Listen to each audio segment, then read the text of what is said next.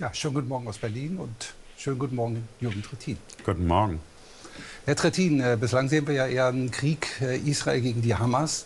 Ähm, aber es gibt ja schon erste ähm, Beschuss aus dem Libanon von der Hisbollah-Miliz offenbar und auch schon Beschuss aus Syrien. Äh, wie groß ist aus Ihrer Sicht eigentlich die Gefahr, dass es da zu einem Flächenbrand, zu einer Ausweitung dieses Krieges kommen könnte? Die Gefahr ist ohne Zweifel da. Dennoch bin ich zurzeit sicher, dass sich die militärischen Aktivitäten Israels primär darauf richten, die Ursache für das, was Israel erleben musste, nämlich dass dort Menschen gekommen sind, um Juden umzubringen. Und zwar, weil sie Jüdinnen und Juden sind, dass diese Gefahr beseitigt werden muss. Deswegen wird Israel bereit sein, äh, Angriffe aus dem Norden abzuwehren. Es gibt auch eine klare Botschaft an den Libanon in Gestalt des US-Flugzeugträgers, äh, der äh, dort liegt, äh, dieses nicht zu eskalieren. Ähm, und äh, dann wird sich äh, die militärische Aktivität darauf richten, äh, die Strukturen und die Führung der Hamas zu zerstören. Mhm. Nicht nur die Hamas, sondern auch die Hisbollah-Miliz im Libanon wird ja vom Iran unterstützt. Ähm, wie groß sehen Sie denn da die Gefahr, dass die Iraner quasi diese Miliz losschicken Richtung ja, Israel? Ohne Zweifel hat äh, der Iran äh, diese Gruppierung ausgestattet, trainiert, bewaffnet. Aber diese haben alle ihre eigenen Interessen. Auch die Hamas hat ihre eigenen Interessen. Und insofern glaube ich, dass wir in der Tat uns darum kümmern müssen, dass die Unterstützer, und die gehen weit über den Iran hinaus, wenn Sie sich anschauen, dass in Katar die politische Führung äh, der Hamas äh, dieses Abschlachten von Menschen öffentlich im Fernsehen bejubeln konnte, wenn Sie sich anhören, welche Stellungnahme gekommen ist vom tunesischen Präsidenten.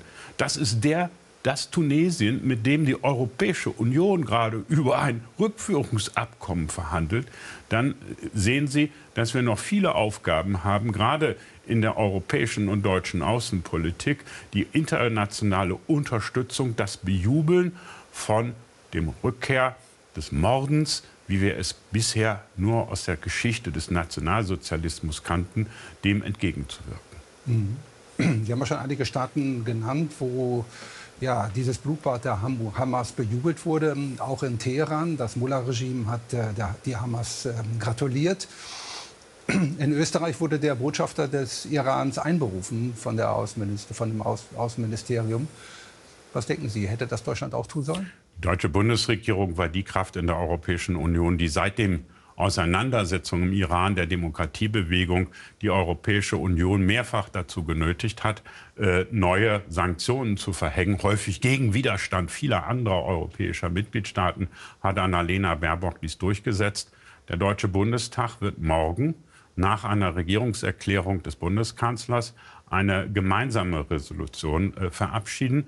Ähm, in dieser gemeinsamen Resolution wird nicht nur die Solidarität mit Israel ausgedrückt, sondern es werden auch konkrete Schritte angekündigt. Unter anderem der Schritt, dass wir den Verein Hamidun, den es hier in Deutschland gibt, der Ähnliches in Neukölln veranstaltet hat, wie in Teheran staatsoffiziell praktiziert worden ist, einen solchen Verein ähm, zu verbieten. Und wir werden die Bundesregierung ermuntern, in ihrem Kurs daran festzuhalten, die politische Isolierung und auch die Sanktionierung des Irans voranzutreiben. Mhm. Es gab ja im Vorfeld dieses Konflikt ähm, ja, Verhandlungen zwischen den USA, zwischen Saudi-Arabien und Israel. Da gab es ja große Hoffnung, dass sich daran also ein Friedensprozess ähm, anknüpft. Wie sehen Sie eigentlich da die Chancen im Moment, dass, sich da, dass da noch Bewegung reinkommt? Ich glaube, dass die Hamas und der Iran an dieser Stelle ein gemeinsames Interesse hatten. Sie wollten genau diesen Prozess, der ja von Seiten der Saudis, aber insbesondere von Präsident Biden damit begleitet war, dass man Israel dazu bewegen wollte, trotz der Siedlerbeteiligung an der Regierung, konkrete Schritte auf die Palästinenser zuzugehen, diesen Prozess zu stören, um nicht zu sagen zu zerstören. Und das ist die eigentliche Tragik, gerade auch aus Sicht vieler Menschen in Palästina. Wir müssen ja aufpassen, dass wir in der Empörung über die unglaublichen Verbrechen der Hamas nicht alle Palästinenser gleichsetzen mit der Hamas. Die Hamas hat im Gaza zwei Millionen Palästinenser quasi als Geiseln genommen und sie versucht Ähnliches in der Westbank. Und deswegen glaube ich, dass wir gut beraten sind, an dieser Stelle diese Ansätze für eine politische Lösung, die langfristig die einzige Weg ist, für Sicherheit in Israel zu sorgen, weiter zu bestärken.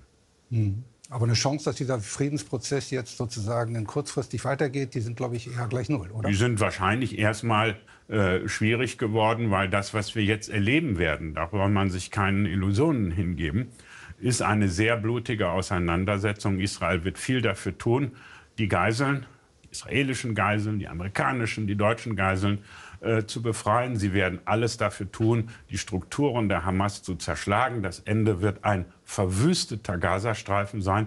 Das wird in vielen Bereichen der arabischen Welt natürlich Solidarität auch äh, äh mit den dort betroffenen Opfern auslösen. Und das macht das schwieriger.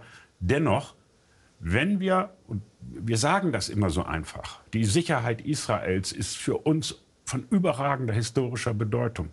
Aber am Ende muss man festhalten, das Ignorieren einer politischen Lösung, wie es lange Zeit die Regierung Netanyahu praktiziert hat, wo Biden sie versucht hat, in eine andere Richtung zu schupfen, das Ignorieren einer solchen politischen Lösung ist ein Sicherheitsrisiko für Israel. Nur mit einer militärischen Stärke, aber mit einer politischen Verständigung mit den Palästinensern in einer Zwei-Staaten-Lösung wird es dauerhafte Sicherheit für die Menschen in Israel geben. Mhm. Herr Trittin, Sie uns zum Schluss kurz noch über Migration sprechen. Wir haben ja gehört, dass der Oppositionsführer Friedrich Merz dem Kanzler angeboten hat, über das Thema Migration zu sprechen und eine Einigung herbeizuführen. Wir hören aus dem Kanzleramt, dass es da ein gemeinsames Treffen jetzt im Kanzleramt geben soll.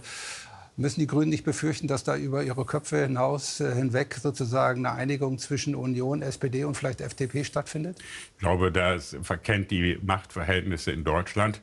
Wenn Sie angucken, in wie vielen äh, Landesregierungen die Grünen vertreten sind und dass es im Deutschen Bundestag keine Mehrheit ohne uns gibt, dann bin ich sehr gelassen. Aber eines muss ich an der Stelle schon sagen. Wenn man nach wie vor mit den Rezepten, die seit 30 Jahren gescheitert sind, mit Rezepten von Abschreckung, von Abschottung und Abschieben glaubt, die Migrationskrise bewältigen zu können, dann wird das nur ein Ergebnis haben, nämlich das Ergebnis von letzten Sonntag. Davon profitiert weder die CDU noch die Ampel, davon profitieren nur die Faschisten von der AfD. Vielen Dank für das Gespräch, Herr Trittin. Und das war der Frühstart aus Berlin. Und ich gebe zurück ins Studio nach Berlin.